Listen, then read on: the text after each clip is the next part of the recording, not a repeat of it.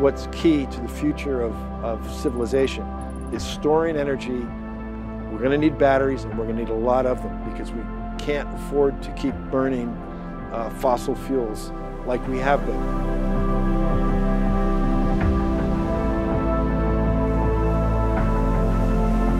The thing that gets me up every day is just how impactful what DeepGreen is doing can be for the planet. And it's not about collecting nodules, that's really cool. This is about the drive towards net zero emissions. Mother Nature made this enormous resource and it all sits in one little area called the Clarion Clipperton Zone and you know it's a fraction of the ocean floor. It has enough of the materials we need to build all the electric vehicle batteries, all the storage batteries several times over. This is a better source for the future of humanity in acquiring these metals, these base metal. These are some of the last resources that the earth has to give us that are unique.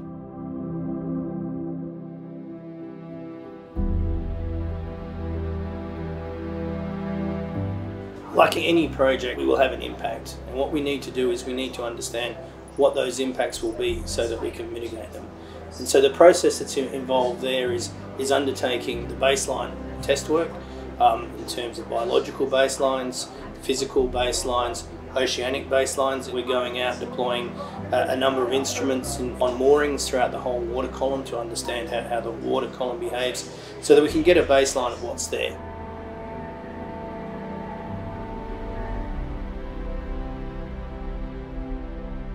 We're kind of in the phase of the company where we're beginning to come to the conclusion of our resource estimation and now we're beginning to ramp up our study of the environment and the biology. So this is really the beginning of that, the next three years of environmental studies. breaking the surface, coming to deck. We're going to one of the most remote, hard to get at places on the planet, and there's an obligation to not only be able to study the environment here before we conduct our removal of the polymetallic nodules, but also to add to knowledge for the benefit of, of humanity. So we're really conducting very important and, and rare primary research uh, on the seafloor. The environmental data we're collecting is really important and it's great that DeepGreen has allowed us to come onto these geological trips and collect biological data. It's just going to build on our knowledge base and it's going to assist them when it gets to the production phase because we're going to have a really good understanding of the environmental communities down there.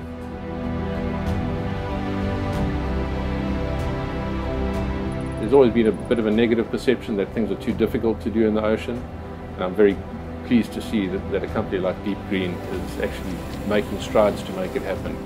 It's something that needs to happen because on-land commodities are being exhausted, there are not many more mineral deposits being found, and it's the natural next place to look.